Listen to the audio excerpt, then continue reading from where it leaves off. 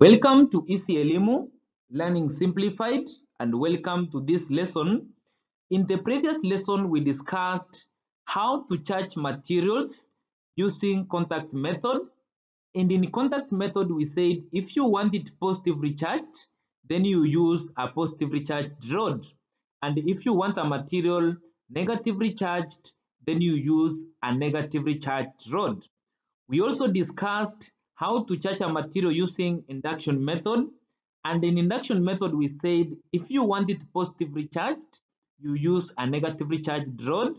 And if you want it negatively charged, then you use a positively charged rod.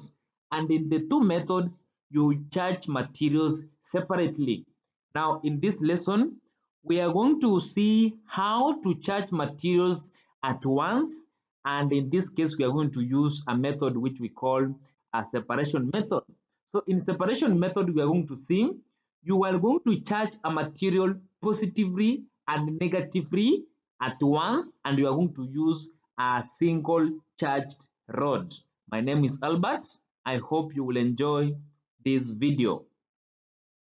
By the end of this lesson, I expect you to be able to describe how you can charge a material both positively and negatively using separation method. And we are going to begin by using a positively charged rod to charge two materials one positively and the other one negatively. Then later we are going to use a negatively charged rod to charge two materials both positively and negatively by using separation method. So to charge two bodies Using separation method, we have said one will acquire positive charges, the other one will acquire uh, negative charges. And so in this case, you need two bodies. Like in this case, you will have the ball A, and then you will have ball B, and then you will support them using an insulating material. And this insulating material will just prevent electrons from moving from the ground to the balls this is an insulator all from the directions moving from the ball to the ground. So these in it balls are electrically neutral. The number of protons is equal to the number of electrons and the second one or ball b is also electrically neutral. And then you will need a charging rod. You will need a charging rod here which you will use to charge the two bodies. So this is the charging charging rod. Now for you to charge them, you need to bring them together in such a way that they behave like a uniform or a continuous conductor. So you will take ball A, this ball A, then it should be in contact with the ball B. Now when they are in contact with their insulating material like this, with their insulating material like this, then what you do, remember it is electrically neutral. Number of protons is equal to the number of electrons. Number of protons is equal to the number of electrons. Then now what you do, you will bring your charging rod here. You bring your charging rod here. This is a charging rod, which is either positively or negatively. We are going to see this case. So if it is positively charged, if it is positively charged, it's going to attract opposite charges that, has, uh, that are electrons. So if it attracts electrons to ball A, then it's going to repel protons to ball B. So after it has attracted all electrons to ball A, then ball B will, will acquire the positives which will be repelled. Then now you will first separate ball B. You will first separate ball B so that it goes with the positive charges then next you will separate the charging rod. This is the second one to separate so that now ball A will remain alone with the negative charges. And if you have the charging rod as negatively charged, then it will attract the positives to ball A and repel negatives to ball B. Then first thing you do, you separate the one which is far away from the charging rod. So you will separate ball B, which will be having negatives which have been repelled. And then second, you separate the charging rod, then you will remain with the ball A with positive charges. So we are going to see examples in the next part. So we are going to charge two bodies positively and negatively using separation method. And in this case, we are going to use a positively charged rod. So here, the first procedure is that have two bodies, bodies which are electrically, which are neutral. So you have two bodies which are neutral. And when you are writing your procedure, you should accompany it with a diagram. So you have two bodies which are neutral. And in this case, you have them like this. This is a silver a silk thread. So you have you are suspending them with a silk a silk thread which is neutral, which will make sure that the electrons cannot flow out of this ball. So this one is electrically neutral. Number of protons is equal to the number of electrons and the other one is also electrically neutral. Number of protons is equal to the number of electrons. So if this is ball A and this is also ball B, then what you do next, the second procedure is that now bring the two bodies in contact with each other. Bring the two bodies in contact with each other with each other and then you accompany it with a correct um, uh, diagram. Then now here you draw the first ball that is ball A then which is suspended close to ball B and now they are in contact like that so this ball A this ball B and they are electrically neutral even when they are in contact. So this one is electrically neutral like that. The other one is also electrically neutral like that. This means the number of protons is equal to the number of electrons.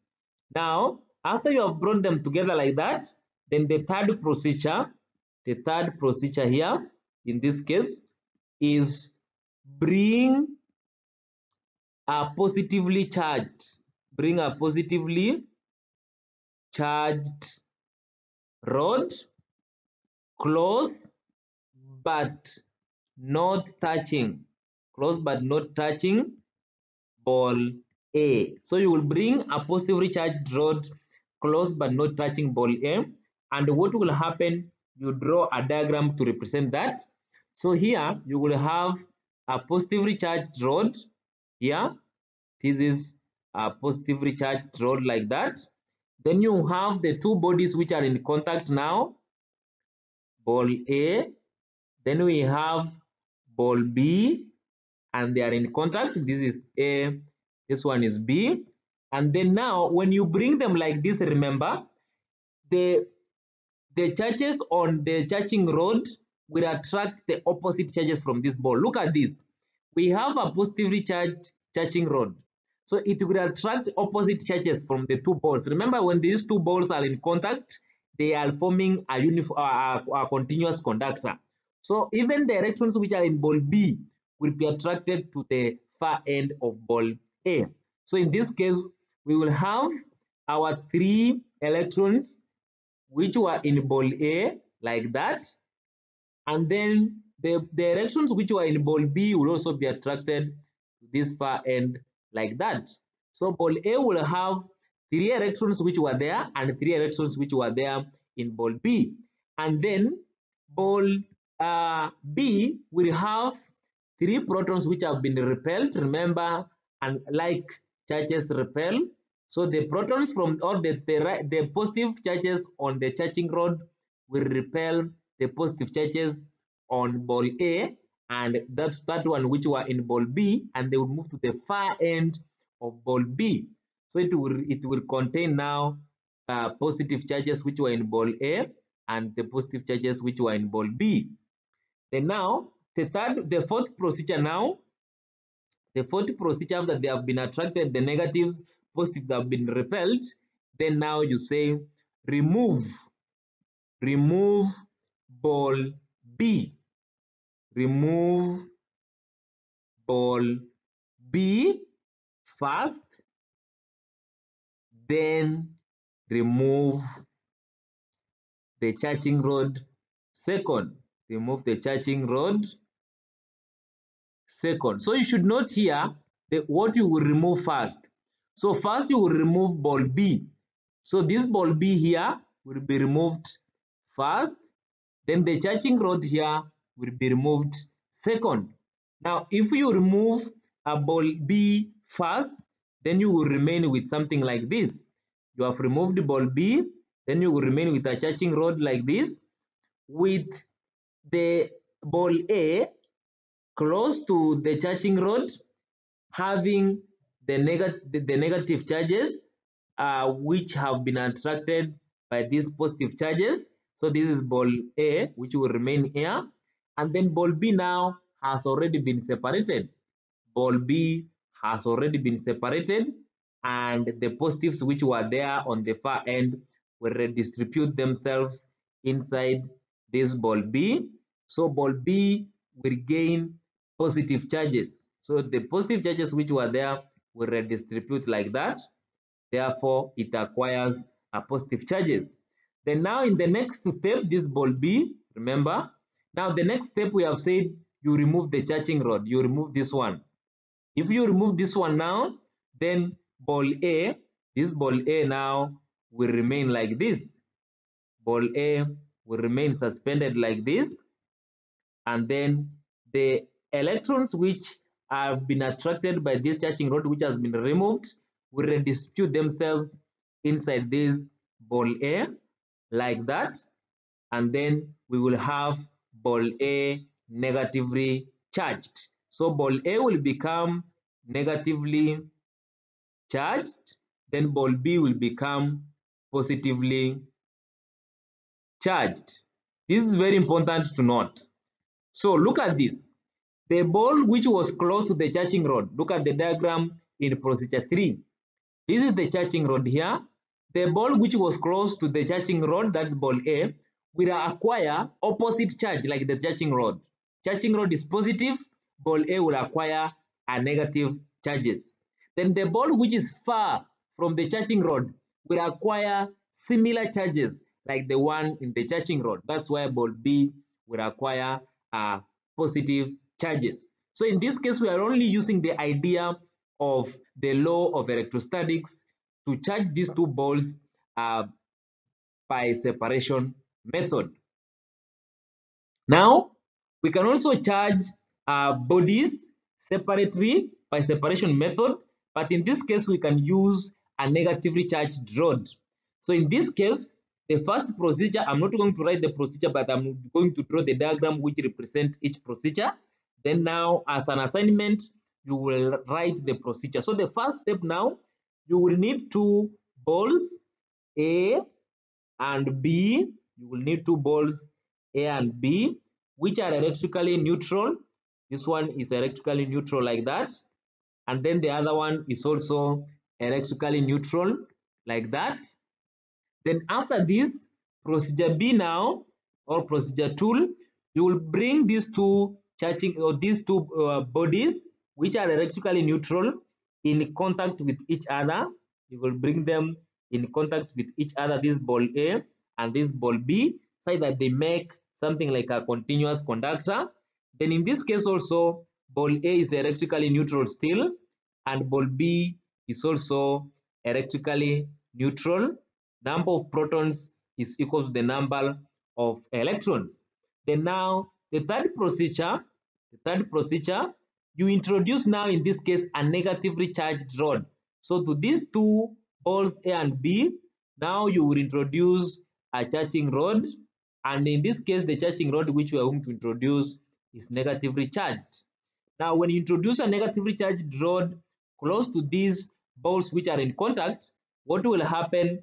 The negatively charges or the negative charges on this charging rod will attract opposite pole or, or opposite charges from the two conductors in such a way that the positives which are there in ball A and B will be attracted close to the charging rod like this.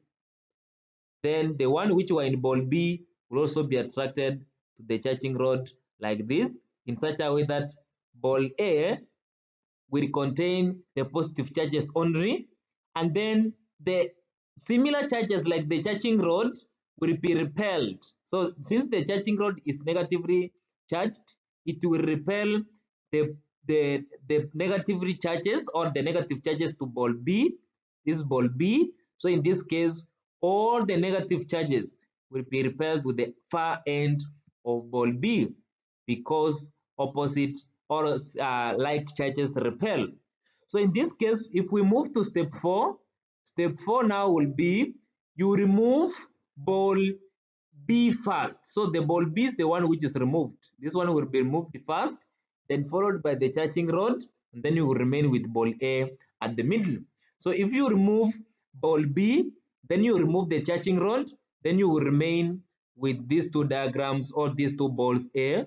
Ball A will remain here, ball A, with the with the protons which were attracted, redistributed within the surface of this uh, material like that. So it becomes positively charged. And then ball B, which was far end of this uh, charging process, will also uh, the, the, the electrons which were repelled to the far end of this material will be redistributed within the surface of this ball B. So ball B here in this case will become negatively charged and ball A will become positively charged. And now look at this. The ball which is far away from the charging rod which was negative will become negatively charged. The ball which is far away from the charging rod will acquire the same charges as the charging rod. And then the one which was close to the charging rod will become positively charged, which is opposite to the charging rod. So it's very important to note this. So that marks the end of our lesson today. For any questions and clarification, you can ask a question below this video or visit EasyElimu Learning Simplified website for more questions, notes, and other resources.